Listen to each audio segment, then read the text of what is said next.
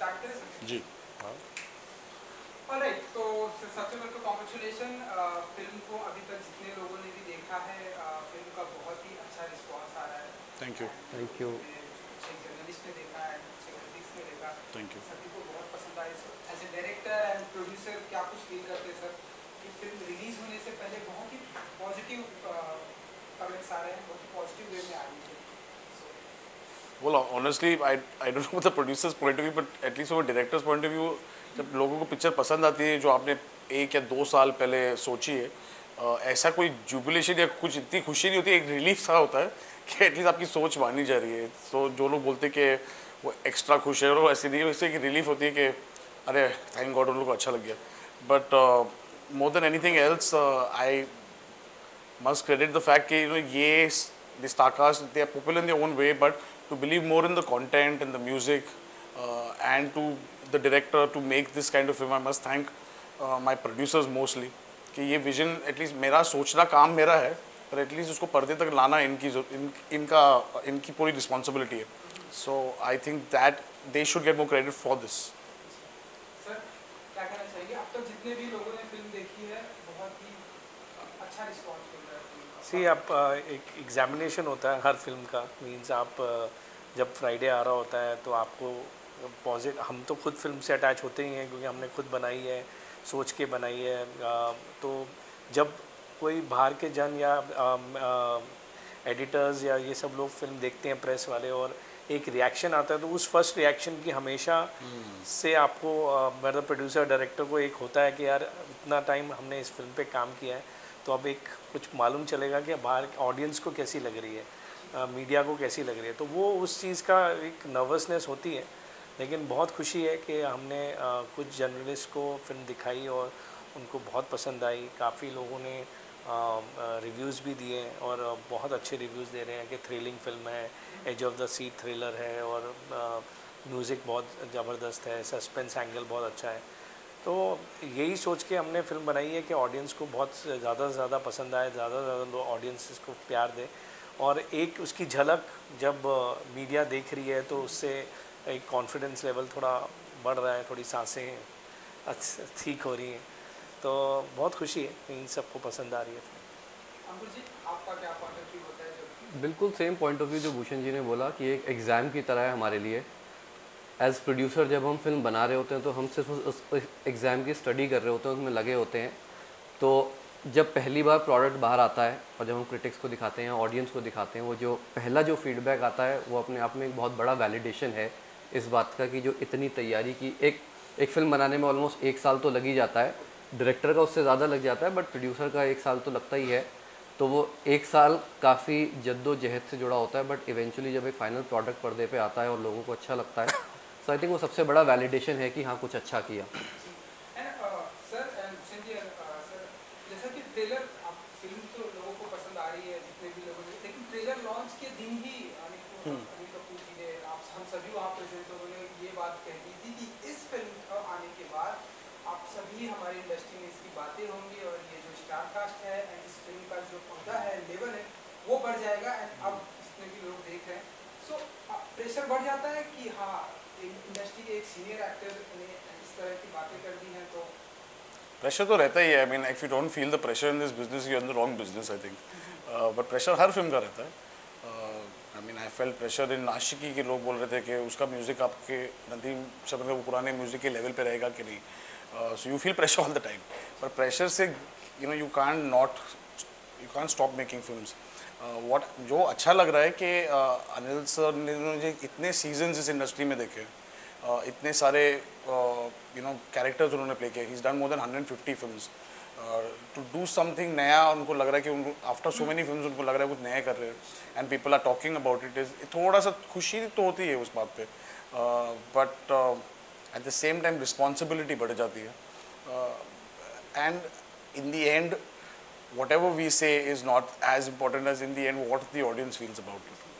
Sir trailer के पहले ही दिन बता दिया गया था कि इस फ़िल्म की बातें बहुत दूर तक होगी हिट होगी तो आप बताइए, उस समय आपकी क्या कुछ फीलिंग से अच्छी फीलिंग होती है मीन्स अगर आपके किरदार जो फ़िल्म में जिन्होंने काम किया है, उनको इतना कॉन्फिडेंस हो फ़िल्म पे, और तो एक फीलिंग एक पॉजिटिव फीलिंग आती है कि आप, क्योंकि अनिल जी जैसे मोहित ने भी बोला इतने सीज़न इतने पुराने एक्टर हैं, इतनी उन्होंने फ़िल्में की, उनको इतना एक्सपीरियंस है, उनकी इतनी अच्छी जजमेंट है तो अगर उनके मुँह से एक चीज़ निकली कि ये फ़िल्म की बातचीत होगी और ये फ़िल्म, वो तो ये भी वो तो बहुत कह रहे हैं कि बहुत फ़िल्म बहुत बड़ी हिट होएगी।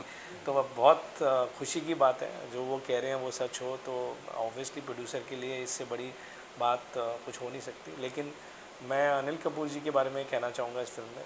सब सब लोगों ने बहुत अच्छा काम किया है, कुणाल ने, अनिल अपना आदित्य ने, दिशा ने। बहुत ज़बरदस्त एक्टिंग किया। अनिल जी की जो बहुत सालों के बाद जैसे तेज़ाब में उनकी एक झलक देखने को मिली थी उस दुनिया की चीज़ इन्होंने आज तक की नहीं थी जो इस फ़िल्म में दर्शकों को देखने को मिलेंगी। मतलब मैं इतने टाइम बाद देख के इतना मतलब सरप्राइज़ हो गया था यार कि वाह मतलब I was totally with the character उनके पूरे कैरेक्टर के साथ पूरे उसमें और इंतज़ार रहता है। जैसे फ़िल्म में ऑब्वियसली क्योंकि हमारी आ, चार किरदारों के ऊपर फ़िल्म घूमती है तो तो इंतज़ार रहता है फ़िल्म में कि कब अनिल जी का किरदार वापस आएगा। तो वो बहुत बड़ी चीज़ होती है, क्योंकि बहुत ही अट्रैक्टिव किरदार है, जैसा कि आपने ट्रेलर में देखा होगा। आप जब फ़िल्म में देखेंगे, आपका भी आई थिंक यही वो रहेगा, क्योंकि वो इतने, उन्होंने obviously he is a season actor तो वो उन्होंने फुल कॉन्फिडेंस से जिस तरीके से वो करते हैं, हंसाते भी हैं, और थ्रिलिंग एंगल भी है, और उनकी एक्टिंग तो लाजवाब है सर एज एन प्रोड्यूसर जानना चाहेंगे कि साउथ में भी सबटाइटल के साथ में आ रही है उसके बारे में क्या कहना चाहेंगे सो uh, जिस तरीके से हमें ट्रेलर का रिस्पांस मिला और जिस तरह की मोहित की ऑडियंस है सो so, हमें अपने डिस्ट्रीब्यूटर्स के साथ डिस्कशन करके भी ये लगा कि इस फ़िल्म की ऑडियंस सिर्फ़ हिंदी स्पीकिंग से ज़्यादा हो सकती है। तो इसलिए फिर एक जॉइंट कॉल हम सबने मिल लिया कि इस फ़िल्म को हम इंग्लिश सबटाइटल्स के साथ रिलीज़ करते हैं क्योंकि जो साउथ के रीजनल एग्जिबिटर्स थे वहाँ से भी काफ़ी इंटरेस्ट था। सो वी टू का जॉइंट कॉल कि इसको सबटाइटल्स में रिलीज़ करते हैं ताकि जो लोग हिंदी नहीं भी बोलते हैं साउथ में uh, वो लोग भी ये फ़िल्म जो है इन्जॉय इक्वली कर पाएँ। similar मतलब यही सेम चीज़ एज अ डायरेक्टर या you it's a very good call very big thing for me के सब लैंग्वेजेस में लोग uh, मुझे याद है लव ने बहुत इंटरेस्टिंगली एक रशियन प्रोमो भेजा पिक्चर का। तो I mean and this is a big release this is my biggest release ever तो as a film maker you always want कि जितने लोग ज़्यादा आपकी पिक्चर देखे, पहले तो थिएटर में, फिर online that is slowly slowly आप, आपकी एक सोच फैलती है। So I am more than जब उन्होंने मुझे फ़ोन करके बोला, अपने सब टाइटल करें मुझे तो अभी कर दो यार। I think it's a very big thing for me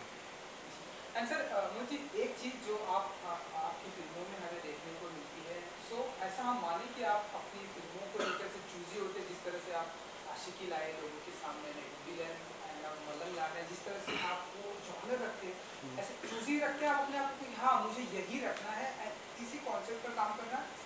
I think every film maker does that वो क्या होता है, एक सोच आती है एंड यू वांट क्या है, मेरा मानना एक फ़िल्म एक रिलेशनशिप जैसी है। अगले एक साल आपको उसके साथ बिताना बिताना ही पड़ेगा। So if you don't like it वो एक बुरा रिलेशनशिप हो जाएगा। तो थोड़ा सा वो चॉइस उस पर रहता है but I think I done fairly well मैंने बारह फ़िल्म बना ली है पंद्रह साल में। तो इतना भी चूजी नहीं हूँ कि मैंने कुछ अच्छी बनाई हो, बाद में चली नहीं और ऐसा कोई आदमी बनाता नहीं पिक्चर कि उसको लगता है कि ये पिक्चर चलने नहीं वाली है। सब अपने दिल से पिक्चर बनाते हैं। I think that goes for producers also but choosy होना इंपॉर्टेंट है but we are in industry जहाँ पर पहले आप शूट करो, फिर इन करो बेसिकली इन लाइफ के पहले आप get the get the film on floor get a film get producers that back your vision and then आपको वो पिक्चर अच्छी तरह बनानी है। Then the rest rise to when the business part comes, पर आप शुरू शुरू में to do it with the feeling.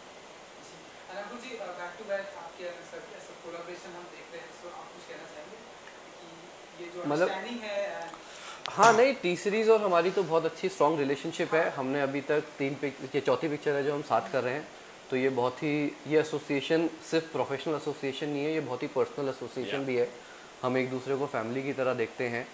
मतलब हमारे लिए तो भूषण जी बड़े भाई जैसे हैं। Hmm. तो मतलब ये एसोसिएशन लंबा चलने वाला है। सो so, मतलब मैं तो सिर्फ़ लाइक मैंने जैसे बोला प्रोफेशनल एसोसिएशन बोलूँगा नहीं। ये चल रहा है चलता रहेगा। So we are very blessed to have someone as experienced and you know like a big brother to us. Bhushan ji हमें कई चीज़ों में जो हमें बिज़नेस की समझनी है गाइड भी कर पाते हैं। एंड हमेशा कुछ किसी भी तरह की प्रॉब्लम होती है तो हमारे साथ खड़े हैं।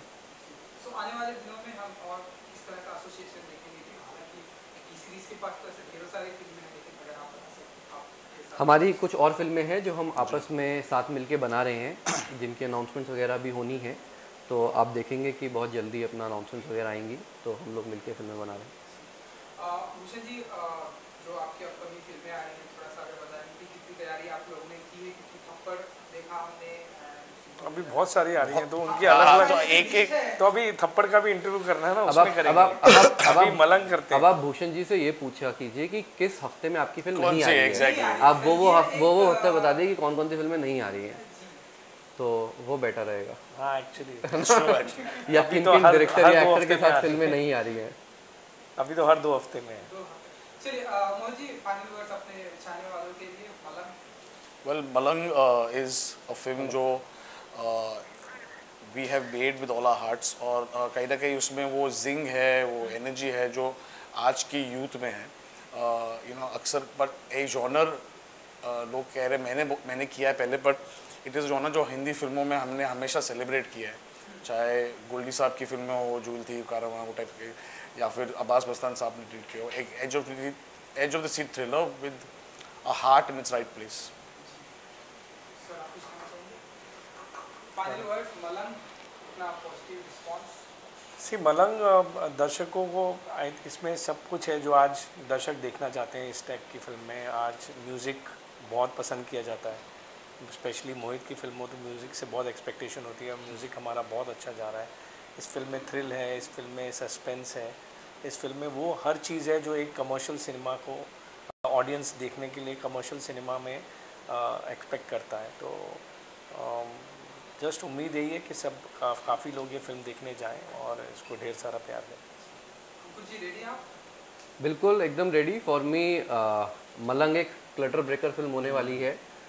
यू नो आजकल जो कंटेंट आ रहा है उससे बहुत डिफरेंट जो मुझे काफ़ी श्योरिटी है कि लोगों को बहुत पसंद आएगी। हम सबने मिलकर एक बहुत बढ़िया फ़िल्म बनाई है जिसमें सारे कमर्शियल एलिमेंट्स हैं। So we are looking forward to it thank you thank you thank you thank you very thank much. You thank you thank you